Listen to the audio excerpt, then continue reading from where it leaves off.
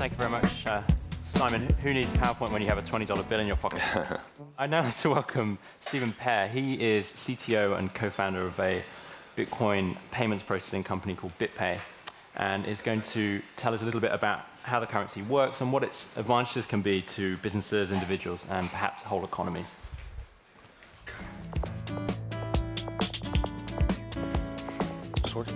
Well, that was, yeah. Uh, thank you. It's uh, great to be here and participate in this event. Um, I wanted to give my perspective on money um, after having worked with uh, or studied cryptocurrencies for the last 20 years and most recently having started a payments company uh, for Bitcoin. And I find that perspective is often helpful um, when you're analyzing some subject matter um, to um, uh, gain a new perspective and see things in a slightly different way and gain insight. Um, and as Alan Kay once said, point of view is worth 80 IQ points. Um, to understand Bitcoin, you really have to understand money first. And money is a protocol. And a protocol is a system of rules that explain the correct conduct and procedures to be followed in formal situations. And that made me think of royalty and, some, and how sometimes we don't follow protocol. Um, but some examples of protocols are SMTP. We use SMTP for email to communicate asynchronously. We use HTTP to publish to the world very cost effectively. Uh, and then there's something called the Uniform Commercial Code, which is an example of a non-computer pro protocol. It's a protocol that's implemented in legal language rather than computer language. And the Uniform Commercial Code instructs us on how we should uh, interact with each other in commercial situations. Now, money as a protocol, basically, it, money sends signals to, is how we send signals to each other about what we value. And collectively, if you look at how money is used, we can learn the things that people value. And when you take these microeconomic transactions and you aggregate them, you can tell things ab about what's going on in the economy. And you can make informed decisions about the kind of things perhaps you should be doing, the things you should be investing in, whether you should be saving or um, what kind of job you should be seeking. So it's, it's really important that we have a well-functioning protocol. The, so Bitcoin enabled something that was previously thought to be impossible, and that is the ability to transfer value point to point, person to person, without an inter intermediary over the internet. And when we talk about a Bitcoin transaction, you're actually transacting or you're actually transferring an actual asset and it's settled immediately. Most digital currencies are you're actually transferring some kind of a debt or a contract and it's being facilitated by a third party. In the case of Bitcoin, there is no counterparty risk when you hold Bitcoins. They are only worth what somebody else is willing to pay for them. Now, how does this work? Well, I can download some software and you can download some software and then I can send you Bitcoins. But of course, in order to send you Bitcoins, I have to have Bitcoins. And so that creates a demand in the marketplace. I need to go out and either purchase Bitcoins or I need to do some work to earn Bitcoins. And then once I have them, then I can send them to you. And that is Bitcoin's intrinsic value. And it turns out that that's all, all forms of money. That's where they derive their, their value. So most of you probably have one of these in your wallet today. I mean, not a diner's club, but, uh, but you have a credit card, which is not much more evolved than this diner's club card. That was invented in the 1950s, and they could not have possibly anticipated today's internet. Um, and yet, a large part of e-commerce on the internet today is conducted with these credit cards. Now, a, a, credit card transaction is very different from a Bitcoin transaction. A credit card transaction is something we call a pull transaction. You go to a website, you put in your credit card number, you give all this personal information to the recipient, and then they use that money, that, that information to pull money out of your account. And that is the source of the credit card fraud problem that we have today. And it's a big problem. It's about 1% of GDP, and probably even a lot more than that. Um, about one in 50 international credit card transactions is fraudulent. It's a huge problem. Now with Bitcoin, the transaction works a little bit different. I have software uh, uh, called a wallet that I run. And when I want to send somebody Bitcoins, it creates a transaction. It digitally or crypto cryptographically signs that transaction. And then it sends that transaction to the recipient. The recipient receives the exact amount of Bitcoins that I wanted to send them. And they have no ability to access anything more. And so we can process a payment anywhere on Earth with no risk of payment fraud. So let's step back a bit and talk just sort of in, in, broad strokes about the evolution of payment technologies. So here I show commodity money, paper money, digital money, and cryptographic money. Uh, in ancient times, we began using um, metals as money. We started to coin them. Uh, and then around the 11th century, uh, paper began to be used as money. Uh, now, now, why is that? Why did people start to transition to paper? Well, it was more convenient. It was a better payment technology because paper could fit in your wallet. It wasn't as heavy to carry around. It was easier to make change. You didn't have to figure out the exchange rate between gold and silver. So that gave rise to the use of paper as money. Started in, it was invented in the 11th century, but it took a few centuries after that before it became widely adopted. Now, digital currencies, um, it's funny that we're here talking a, uh, in a session about digital currencies as if that's a new thing. Digital currencies have been with us for probably 50 years.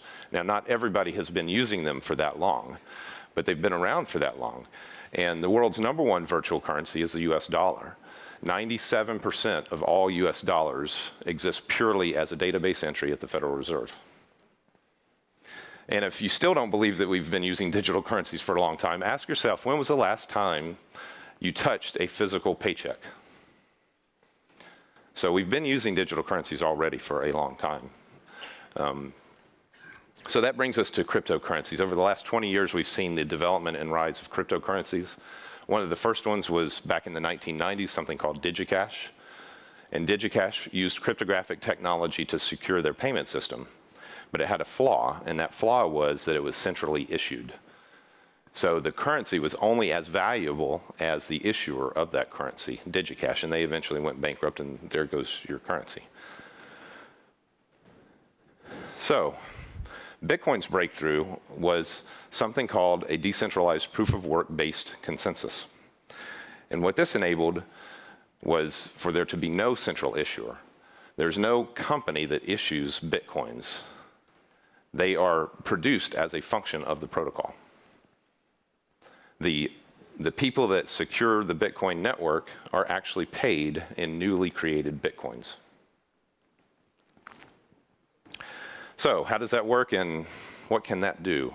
Uh, well, it won't answer the riddle of whether the chicken or the egg came first, but if you gave the Bitcoin network a chicken and an egg, the entire network would reach a consensus about whether the chicken or the egg came first. These are millions of computers around the world that would agree on which event came first. And that's really what it's about. It's about ordering of events.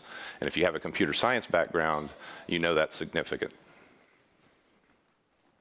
Um, and this network, by the way, has a lot of utility beyond just payment processing. Uh, ways to create more Bitcoins. I don't think I'll talk too much about this slide. Um, suffice it to say, you can't actually create Bitcoins. Their issuance is based on a fixed rate of, um, um, a, a fixed rate of inflation. And they come into the existence by rewarding people that secure the Bitcoin network. And fundamentally, the integrity of the Bitcoin network is rooted in the rules of math and the laws of physics. And interestingly enough, gold is also, when it's used as a payment system, is also rooted in the same things and, and the integrity of the use of gold as a payment system. Uh, here's a, uh, a, couple of data centers. On the left is um, one of Visa's billion dollar data centers. And on the right is a mining operation. These are the computers that secure the Bitcoin network. So one is a messy patchwork of systems and the other is a really, in, in the case of Bitcoin, it's a really elegant design. The one on the left, the one on the left, uh, the data, that, both of these are doing fundamentally the same thing. They're trying to secure the payment network and the integrity of the payment network. In the case of the Visa data center, what they're trying to do is apply machine learning algorithms, pattern recognition, and whatnot to detect instances of fraud on the credit card network. And remember, the fundamentally flawed nature of a credit card payment, that pull transaction. On the right, what you've effectively done is commoditized the process of securing or the business of securing the payment network. So anybody can go and obtain this hardware. Uh, you used to be able to just run it on a normal computer, but now we have specialized uh, computer chips using 28 nanometer process that are custom designed to secure the Bitcoin network. So anybody can go and acquire this hardware and they can start running it and they can earn newly created Bitcoins by operating that, that equipment. Um, and the profitabil uh, profitability of that goes up and down depending on the price of Bitcoins and a lot of other factors. How many other people are trying to do that? Now, what this all means is that Bitcoin, in, in its short time, in, in the relatively short period of its, its existence, um, has bootstrapped the world's most powerful distributed computing network in the history of man. And it is also, I like to describe Bitcoin as the most counterfeit proof form of payment that we've ever invented. So in Bitcoin, as in life, money isn't everything. I mentioned before that the decentralized network that um, orders events can be used for a lot of other things, a lot of very cool things. Uh, for example, it's not just about sending payments from point A to point B. I can create a transaction that requires three out of five people to sign that transaction. I can also timestamp documents so that I can have provable evidence that a document existed at a certain point in time and I don't have to reveal the actual contents of that document ahead of time. It can handle the transfer of ownership of other kinds of assets like deeds and titles. And you can even, people are speculating that one day we will, those Google cars that drive themselves, people are speculating that not only will they drive themselves, but they will also own themselves and be independent economic actors So when I think about money today, it reminds me of the pre, pre-internet era when we had CompuServe, Prodigy, AOL, and they didn't communicate with one another. And then along came the internet, and they suddenly became linked. Well, here we have a payment system and a money, an open source project that allows us to start to interconnect what I view as a lot of different, you know, separate payment systems, separate monetary systems. And so that makes me really excited about the future, and uh, I can't wait. And that's my perspective on money. Thank you.